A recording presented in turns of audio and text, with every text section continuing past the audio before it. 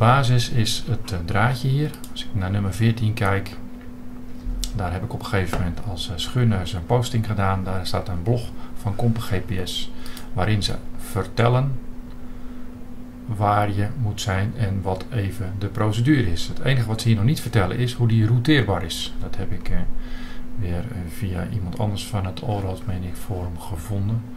Uh, uiteindelijk in de Duitse naviboard.de. Ik gebruik CloudMate voor een download. Want ik kan met CloudMate kan ik namelijk provincies downloaden. Welke moet ik hebben? Ik pak dit bestand beet, osm.bz2, 50 MB, dat is ook het grootste bestand. Alle andere bestanden zijn alleen maar subsets van deze. Die hebben we nodig. Als we die hebben gedownload, dan pakken we hem uit. En Flevoland wordt dan van 50 MB opeens 761 MB. Processen van kaarten heeft wel wat geheugen nodig. Dus een PC of een Mac met minimaal 2 gig en het liefst 4 gig of nog groter. Hoe meer, hoe beter uiteindelijk. Um, ik ga terug naar Compen GPS en ik heb hier gezegd via kaarten gewoon openen nieuwe kaart. De kaart Flevoland heb ik getoond. Ik zeg hier rechtermuisknop, zoom er naartoe. Ja. En waar het om gaat is dat we uiteindelijk hier die routering erin krijgen.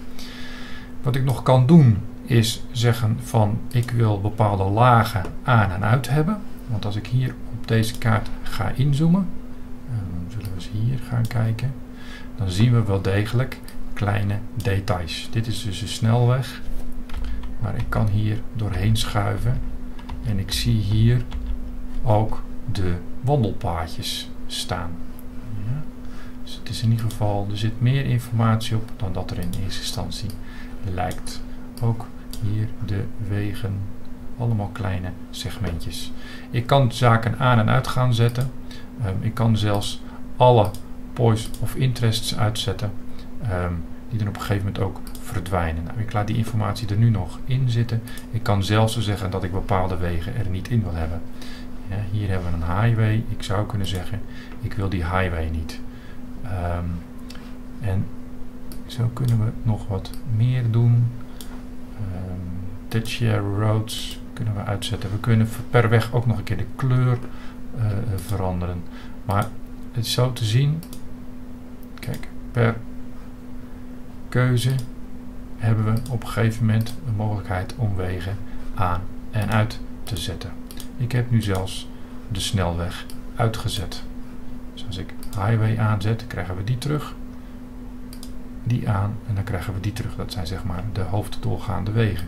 Het handig is om ze eruit te halen, dat is het niet. Want ja, hier zit wel een verbinding tussen. Die highways, die zou ik bijvoorbeeld kunnen uitschakelen. Dat is wat minder erg. Voor nu laat ik dat eventjes zo en uh, zal ik daar niet uh, mee gaan spelen. Wat we nu gaan doen is rechtermuisknop en we gaan hier zeggen wijzigen vectorkaart editen. Enige wat we nu hoeven te doen, en ik zal deze nog even opschuiven, is dit symbooltje te kiezen.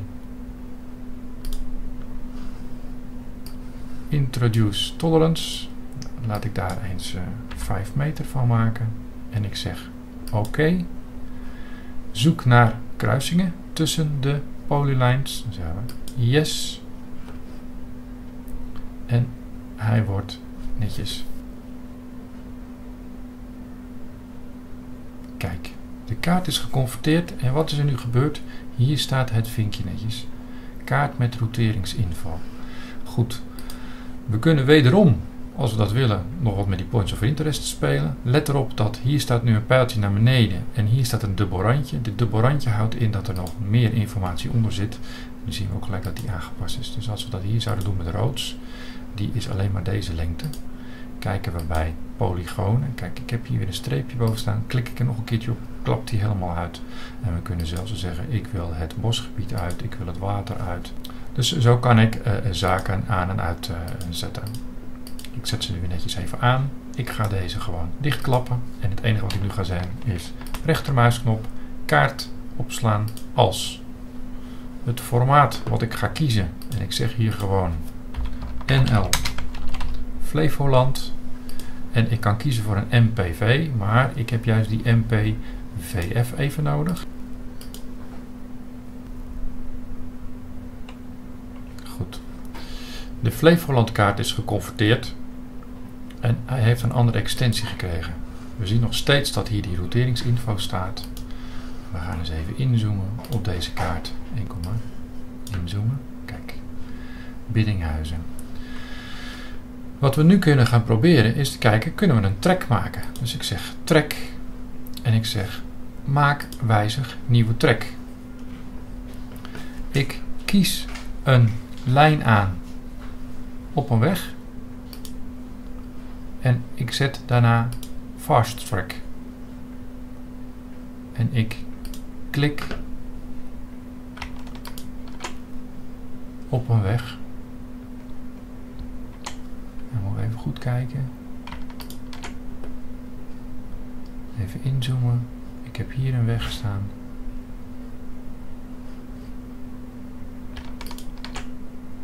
Kom maar.